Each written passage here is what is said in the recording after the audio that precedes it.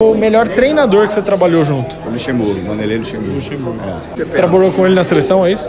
Não, ele me convocou, mas eu não. Nessa seleção que eu fui, que eu falei do, do Haiti, era o Parreira. Na seleção que ele me convocou, que foi depois da Libertadores de 98, eu machuquei e não me apresentei. Não, mas você jogou. Trabalhei no Palmeiras no e Santos. Santos. Ah, tá. Vamos lá. O melhor time que você jogou? O Vasco de 98?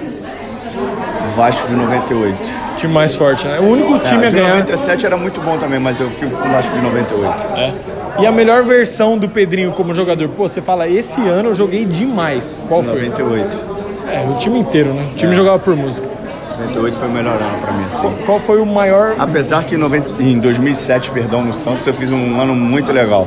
junto com o Zé Roberto, né? É, no Palmeiras eu tive muitos bons momentos, mas foram muito, muitos momentos interrompidos por causa da lesão. Eu não consegui fazer uma temporada tranquila. Não, mas eu sou palmeirense, a gente gosta muito de você obrigado. lá. Fechou. Segue a gente, tamo junto, valeu. É nóis.